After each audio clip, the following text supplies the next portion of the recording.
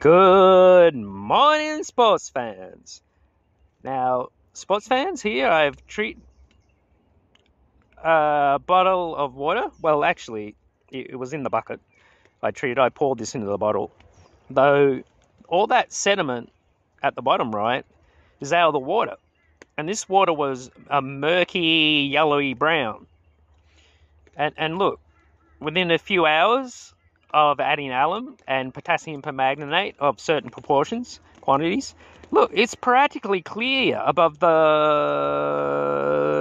uh, sediment at the bottom. It's practically clear. I will boil this water again. Uh, well, not again. I will boil the water to make sure uh, all pathogens are extinguished and it, it alleviates some chemicals which uh, evaporate uh, uh, above 80 degrees. Though, I tell you what, this water when I treat this water, and it's this muddy old crappy swamp water, my friends, when I treat that water and I drink it, and I'm drinking it for a period of four days, I feel fucking fantastic. I can't describe how I feel. I feel great on this shit. But I buy a bottle water, or I get the water out of the tap, I feel like a piece of crap. Almost instantly. I know what's in that water. I don't know because it's recycled. We're drinking our own fucking piss. I don't know, but I know this one fell out of the sky, and it was in a muddy hole. But I know it fell out of the sky, and I'd rather drink fucking that. Uh, you, you, make your own choice. I mean, you could you could drink this, and your genetics, you might die. I don't know. Maybe I'm the only one in the world that can drink this, but and and, and not succumb. But I feel fantastic drinking this. I drink the stuff out of the bottle, and I drink that stuff out of the tap, and I feel like dying. Now, I will say, they are contained in plastic and a lot of that production of the tap water is from within plastic pipes. Now, is somehow this plastic getting into the water and I'm drinking it and then I'm PKU and I get a bad reaction?